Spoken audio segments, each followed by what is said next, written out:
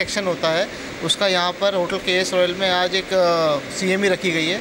इसमें आगरा के कुछ डॉक्टर्स नए नए तकनीक पे जो हमारे विज्ञान में आई हैं, उनके बारे में व्याख्यान दे रहे हैं। और इसके अंदर पूरे आगरा की हर पद्धति के डॉक्टर्स में आए हुए हैं और इसका विधिवत उद्घाटन बेबी रानी मौर्य जी ने किया।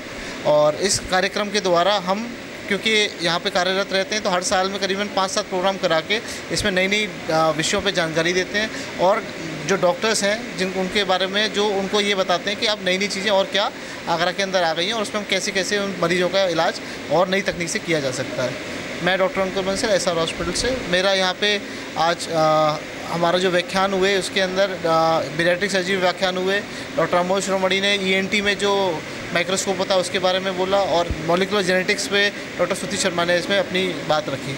हम आप फ्यूचर में भी ऐसे ही कार्यक्रम और करते रहेंगे साल में आई एम के द्वारा, जिससे कि लोगों का पेशेंटों का इलाज और अच्छा हो सके और नई तकनीक से